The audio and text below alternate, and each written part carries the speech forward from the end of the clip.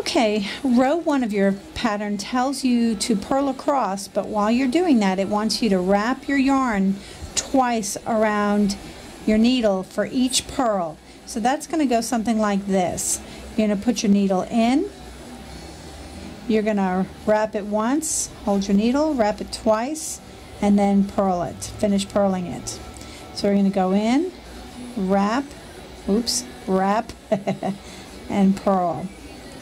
Let me just change my hand. I'm going to go in, hold it, wrap, hold it, wrap, and purl. It helps a lot if you will hold it in between because you can be sure that you're not losing one of your wraps. Wrap, hold, wrap, hold, and, and go. Uh, otherwise, you're going to find that you don't have two wraps on every stitch and some will be shorter than others and it'll keep your yarn pulling very tightly with some short and not so short. So once again, go into purl, wrap it, hold it, wrap it, hold it, and then push it through.